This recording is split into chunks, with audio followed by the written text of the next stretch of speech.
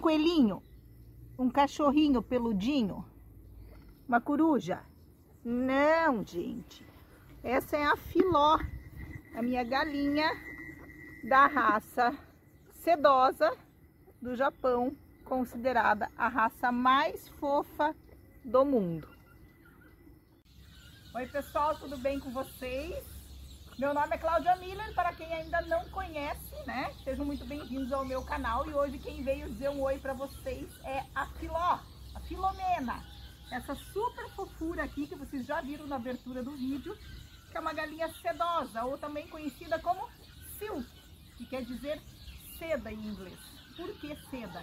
Porque esses pelinhos dela, na verdade, são peninhas, né? Mas não nascem as penas principais, nascem apenas penugens, esses tufinhos aqui de peninhas nessas galinhas. Elas são super delicadas, são mais sensíveis que as galinhas comuns, justamente por ter menos penas. Então, fica mais difícil elas, elas manterem né, um calor corporal, então elas são um pouco mais delicadas. Não são indicadas para regiões muito frias. Mas muita gente tem essas galinhas como pets, como animais de estimação. É possível uma galinha de animal de estimação? Claro que sim, mas sempre proporcionando lugar, lugar adequado para elas viverem, né? São galinhas, precisam de grama, precisam ciscar, precisam ter contato com a natureza para viverem mais felizes. Na verdade, ninguém sabe de onde surgiu essa raça de galinha. Elas são as sedosas japonesas, também conhecidas como sedosas japonesas ou sedosas do Japão. Mas nem propriamente por isso elas vieram do Japão, né? Dizem que na China existiam essas galinhas e elas começaram a ficar famosas porque vendiam essas galinhas, comercializavam como se fosse a cruza de um coelho com uma galinha, porque ela tem as peninhas como se fosse mesmo pelinhos e faziam muito sucesso. Talvez daí também que surgiu aí, né, que coelhos botam ovos na Páscoa. Talvez seja por isso. E essas galinhas têm, uma, têm algumas características bem diferentes. Né? Então, olha só, agora ela está aqui esticadinha, tomando sol, aquecendo o corpinho. Só essa parte aqui possui penas, o resto são penugens elas têm o corpo todo preto, a pele preta, inclusive o lóbulo da orelha é azul, na cor azulada. Então ela tem a carne, a pele e inclusive os ossos na cor preta. Mas os ovos são normais, como se fossem de galinhas comuns, na cor bege. Que mais que nós vamos falar de você? Hã? Que mais que nós vamos falar de você? Que nós vamos contar? Hã? Tá com calor? Vamos descer? Outra característica muito marcante dessas galinhas é que elas têm cinco dedinhos no pé.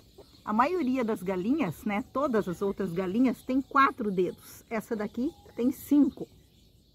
Essa raça também é considerada uma das mais dóceis do mundo. Elas são muito tranquilas, podem ver que está aqui sentadinha do meu lado tranquilinha e são consideradas ótimas mães. Elas entram no choco com muita facilidade.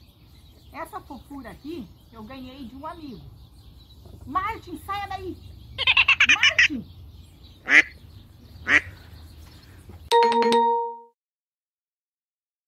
Seu sarno. Essa raça aqui eu ganhei de um amigo. Então elas são muito fofinhas, nós estamos apaixonados e quem quiser saber sobre essa raça e até quiser uma galinha dessa, eu vou deixar na descrição desse vídeo o telefone de um criador, tá? Não é do amigo que me deu essa galinha, mas é de um criador aqui de Santa Catarina e aí vocês combinam como fazer, né? Para ter uma galinha dessa. São muito fofinhas, inclusive no Japão eles andam com elas de coleirinha por aí, como se fossem cachorrinhos, né? Mas eu acho que os animais todos têm que ter o seu local adequado, não adianta querer criar uma galinha dessa dentro de um apartamento, né? Então fica a dica aí, né Filó? Vem cá, caminha um pouquinho pro pessoal te ver, vai, caminha. Vai Filózinha. Por dela ser tão dócil, eu só tô tendo uma certa dificuldade em adaptação dela com as outras galinhas, né? Porque ela é diferente, as outras galinhas realmente se assustaram quando a viram e acabaram avançando nela. Como o olhinho é totalmente encoberto de penugens, ela também não enxerga direito, o que faz com que ela seja uma vítima, né, uma presa mais fácil aí de alguns animais que podem pegar. Gato, cachorro, corujas, enfim, animais maiores que podem pegar essa raça tão delicada. Elas são o maior sucesso em exposição de galinhas. E elas têm nas cores branca, cinza, perdiz, avermelhada, preta, são as cores mais comuns dessas galinhas.